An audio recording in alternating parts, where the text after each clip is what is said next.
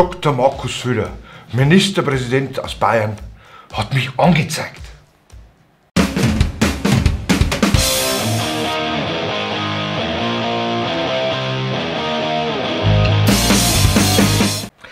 Servus, grüßt euch. Habe eine schöne Post bekommen.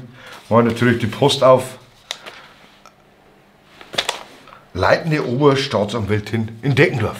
Denken wir, was Gottes Willen, was ist passiert?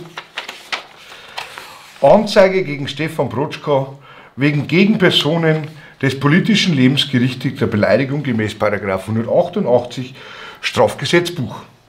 Der Staatsanwalt Deckendorf liegt eine im Auftrag des bayerischen Ministerpräsidenten Dr. Söder MDL am 9.3.23 erstattete Anzeige vor.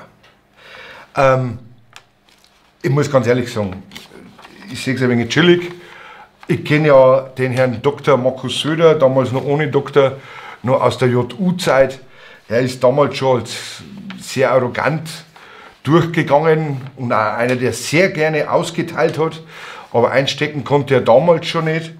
Auch diesmal habe ich ihn angeblich beleidigt, weil ich angeblich Södolf gesagt habe. Ich weiß nicht warum, ich weiß ja nicht, wie der das in Verbindung bringt oder so, ähm, keine Ahnung. Und Landesverräter. Und das wird ihn in einer Weise bezeichnet haben, die geeignet war, sein öffentliches Wirken erheblich zu erschweren. Naja, was der Herr Söder heute halt die AfD alles so nennt, ob das nicht auch erschwerend ist für unsere Arbeit und so.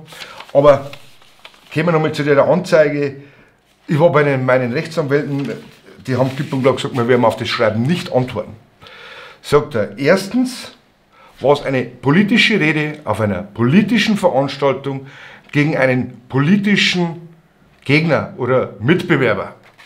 Noch dazu der politische Aschermittwoch, der für überzogene Reden für Satire und wie auch immer ja bekannt ist und da ja die CSU ja immer eine Partei war, die sowieso immer groß draufgehauen hat und in der uns in vergangenen Reden auch der Herr Dr. Markus Söder, bekannt als Ministerpräsident Bayern, auch das eine oder andere die ganze AfD dementsprechend beleidigt hat. Ja, er hat keinen persönlich beleidigt, das stimmt, aber die ganze AfD hat in seinen Wirken sehr eingeschränkt mit seinen Reden.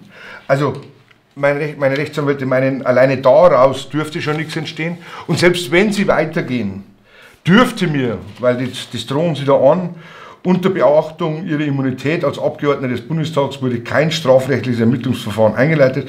Zudem werden zur Wahrung ihrer Interessen die Vorschriften bla bla bla bla. Ich ziehe in Erwägung gemäß Paragraph die Genehmigung zur Durchführung der Strafverfolgung wegen einer Beleidigung politischen Charakters einzuholen. Also sie möchten meine Immunität aufheben. Und da gibt es ja auch so einen Sprachgebrauch, dass bei politischen Reden die Immunität nicht aufgehoben wird. Jetzt sagt, meine Rechtsanwälte haben klipp und klar gesagt, also wenn die Staatsanwaltschaft das, das, wenn die Staatsanwaltschaft das verfolgt, dann ist es ganz klar politisch motiviert. Und wenn dann noch dazu der Bundestag meine Immunität zwecks dieser Anzeige aufheben würde, dann hat er schon gesagt, dann tritt er sogar der AfD bei. Weil dann weiß er, dass es nichts mehr rechtmäßig zugeht in diesem Land. Also in dem Sinne, ja, ich habe das vernommen.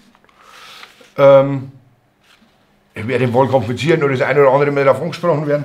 Aber ich sehe das sehr chillig, ich bin sportlich.